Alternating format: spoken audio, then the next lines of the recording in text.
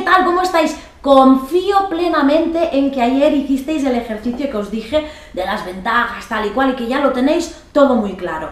Ha llegado el momento de eh, empezar eh, con esta actividad, con el horario que os habéis marcado, así que lo que tenemos que hacer es lo que os he dicho, nunca, nunca, nunca saltarnos ese horario y nunca desistir por derrotarnos antes de tiempo. Hoy os voy a dar unos truquillos de cositas que yo hago y que me funcionan bastante bien. Por ejemplo, cuando me tengo que levantar por la mañana muy pronto para ir al gimnasio.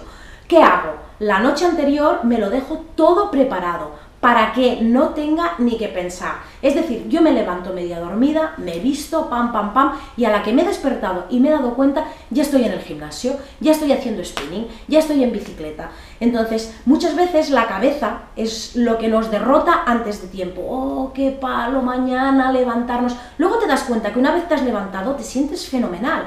Una vez has hecho la actividad, te sientes súper bien por haberlo conseguido. Así que lo que tenemos que hacer es engañar también un poquito a este coco, eh, que a veces nos hace la puñeta, y dejar las cosas totalmente preparadas y listas para que no tengamos mucho tiempo de pensar. ¿Vale? Ya pensaremos luego. Entonces, eh, de esta manera lo que conseguimos es ir a la actividad y ahí en la actividad lo que hacemos es gozar de lo bien que nos sentimos. O si salen inconvenientes ya saldrán allí, pero en la actividad.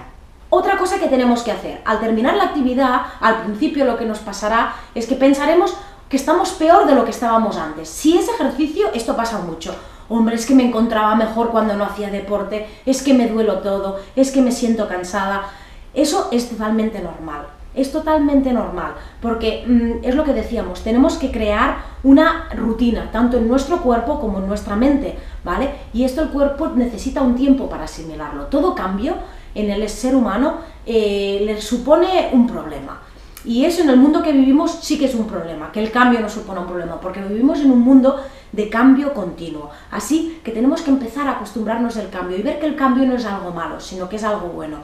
Así que muy, muy importante que no nos derrotemos, lo que os comentaba, y que aunque nos sintamos mal, sigamos, sigamos, sigamos, que ya llegará un momento que ese sentirnos mal nos va, a venir, nos va a venir rebotado al revés en sentirnos mil veces mejor. Tenemos que ser conscientes que la constancia es donde radica el éxito. Es decir, si yo cojo y hoy me voy a correr 20 kilómetros, 40, 50, pero resulta que estoy un mes que, que no voy a correr más, primero que estaré hecha polvo, estaré un mes que no me podré mover. Y segundo, que luego poca forma voy a coger. Lo es mucho más importante que cada día corra 1, 2, 3, 4, 5 kilómetros, pero cada día. De esta manera creamos el hábito, como os he explicado, y adecuamos el cuerpo. Y el mismo cuerpo va a ser el que nos va a pedir más. Cuando esté preparado nos pedirá más. Y no nos tenemos cuenta y correremos más deprisa y correremos más distancia. Y eso en todos los hábitos. Así que tomad buena nota de esto.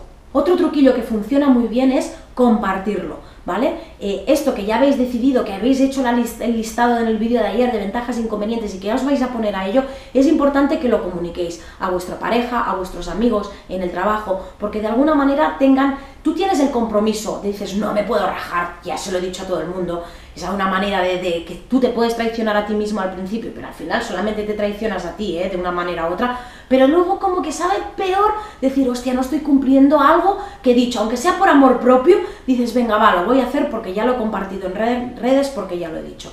Así que usad esto también para que os ayuden. Si tenéis un compañero de piso, si tenéis un em, el marido, la mujer, eh, si tenéis amigos, pues os pueden ayudar seguramente a animaros cuando estéis mal, eh, a, echaros una mano si os la tienen que echar en cosas de la casa, en lo que sea. Así que compartirlo es bueno, porque las cosas si se hacen así en equipo siempre funcionan mejor.